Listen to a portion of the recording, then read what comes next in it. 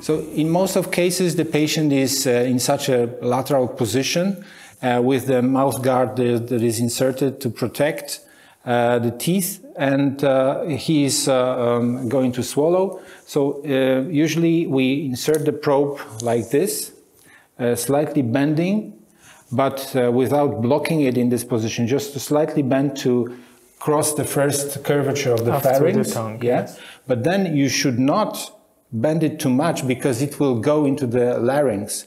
So you have to let it go backwards afterwards to slide on the posterior uh, wall of the pharynx to go uh, deeper. So, this first movement is anteflex, and the Yes. second one But is only slightly cr- retroflex. Uh, yes, or, or, To the or- baseline or position. neutral, yes. But uh, remember always to keep the same direction here.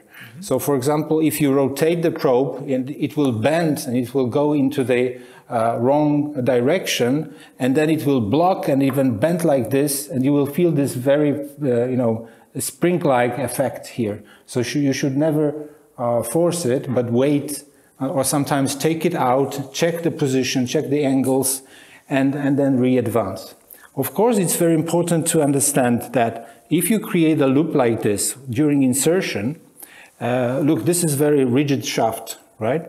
So once you make this shaft uh, straight, look at the tip of the, of, the, of the probe. The probe is rotating Because so, of the loop. Because this loop is creating this effect. So, so if you want to keep it in one direction, you, you, you should have it straight in the beginning and then you control the direction. If So you, do- have to ask somebody to hold the probe for a minute, and you yes. advance the probe. So, for example, if you would like to, to try, uh, probably I would uh, keep it for you like this. I would direct it towards the tongue of the patient, and then you, when when you go there, you are 100% certain that you are advancing a proper uh, uh, direction.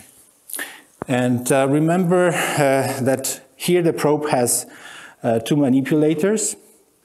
Uh, and uh, one of them uh, causes bend towards the anterior, the other one towards the posterior. So we call it anteflex or retroflex. So uh, you have to remember that the manipulators uh, are mm, very frequently used during the examination and you have to understand what do they cause on the tip of the device. So if I rotate the bigger knob clockwise, you see that the probe is bending anteriorly. We call it anteflex, and it can be very deep flexion. If uh, I um turn it counterclockwise, it, uh, it makes a retroflex. Uh, the angle here is much less than during anteflex, so this is uh, important also to understand. And uh, those manipulations will be used very frequently during the examination. And this little knob uh, is uh, making flexions towards the right or towards the left if you look at, at the probe from the back, right? So clockwise means right, counterclockwise means left. And this is little bend. This is not that deep as anteflexion. But both of those knobs can be blocked in very flexed position with the uh, brake here. So now you see the probe is really very uh, uh, hook-like.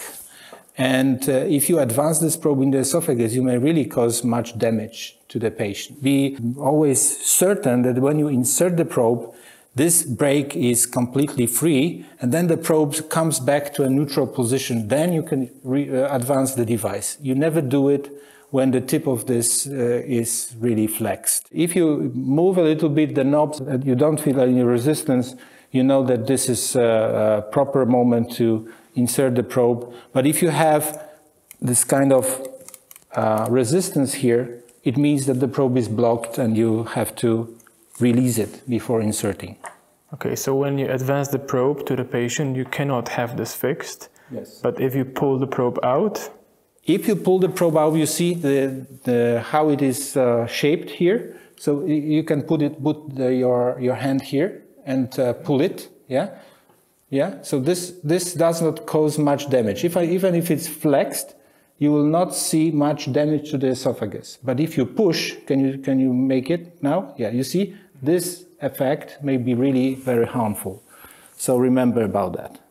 So always when you want to make sure that the probe is really free, just uh, move uh, a little bit those uh, manipulators and you are certain that you can now safely advance.